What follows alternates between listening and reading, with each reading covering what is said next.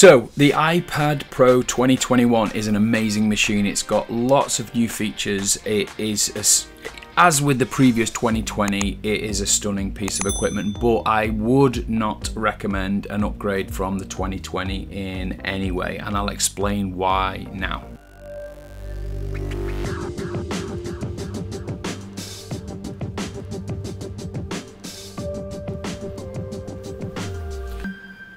So my big problem with um, the iPad 2021 is the RAM. I'll go straight into it. I could tell you about how good the mini LEDs look. The blacks are blacker. The um, overall, it's the, the iPad experience is, is one of my favorite um, ways to create. In I use two things: I sculpt and I paint. So I use mainly Nomad Sculpt for my sculpting, and I use Procreate mostly for my painting.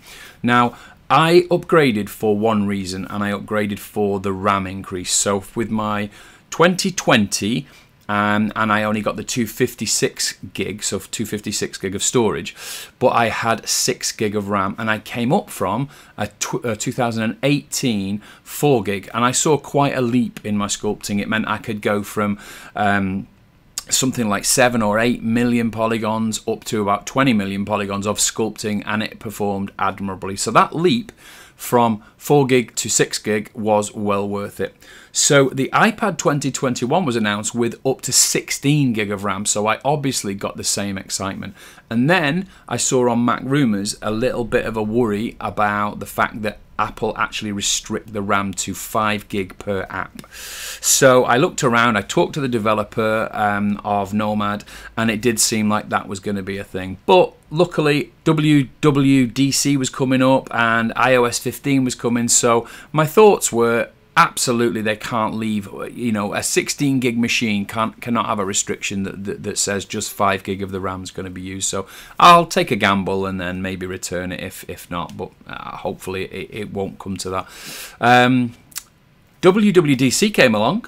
All of these amazing new ios 15 features all of the um, the new multitasking features lots lots of exciting things but nothing about opening up that RAM throttling. So it, for me, it was a crushing realization that I just spent two grand on a machine that is essentially the same as the previous one. Now, I know some people will say, well, there's lots more in it. There's the mini LED. There's the, you know, it does, it is a nicer, uh, there are more things in there to make it visually appealing. There's an M1 in it. Woo, amazing.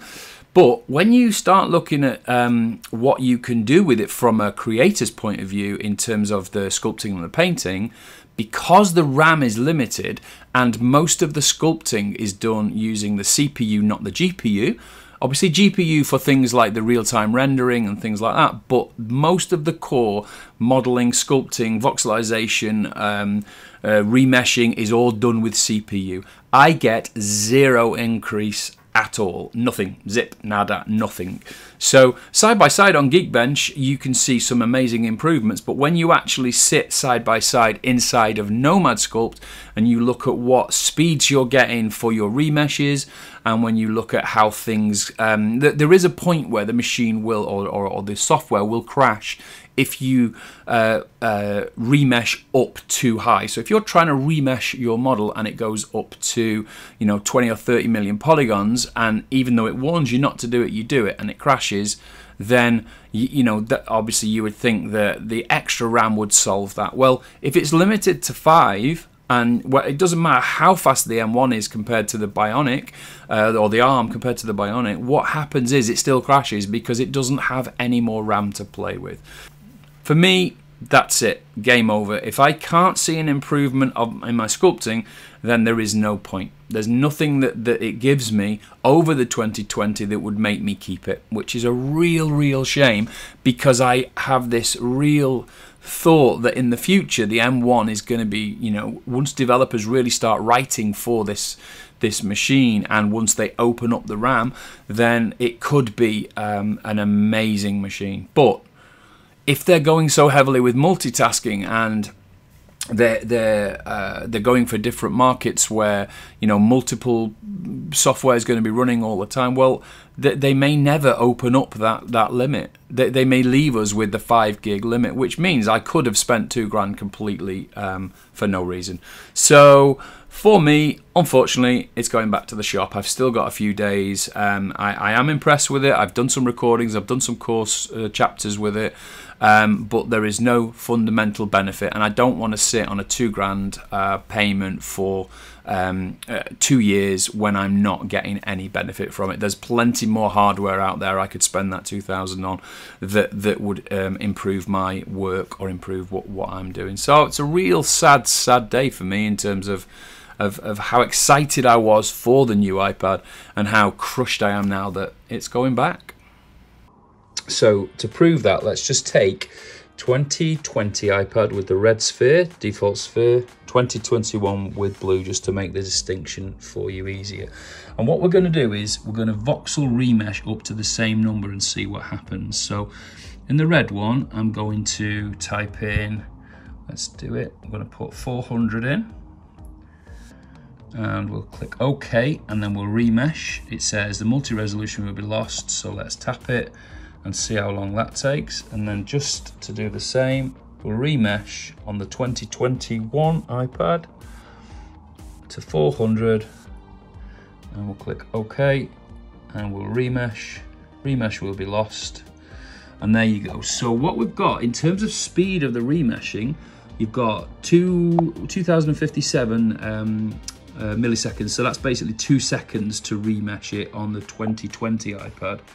And it's let's zoom right in it's 1.35 on the uh, 2021 so great it definitely is doing remeshes faster so that's fine.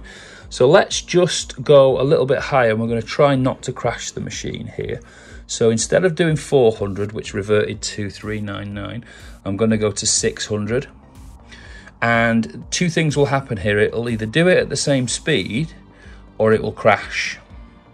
So we've gone remesh, see what's happened, and it's remeshed it to, um, the, the, polygon count is now one and a half million and it's 6166 milliseconds, so basically six seconds. So let's do this one, 600, 600, okay, and remesh that it calculates. So we're going to assume it's going to do it in about four, which it says it has. So it's remeshed it in about four seconds. So that's great. So the speed is a definite improvement. I don't have an issue with that at all.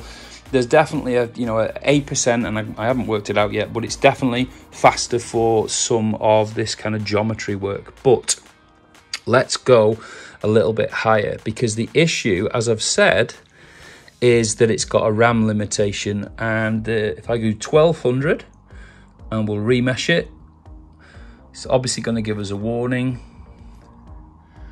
Let it calculate. Well, it was it was saying six seconds before, so let's see what it does at this one, and it could easily crash.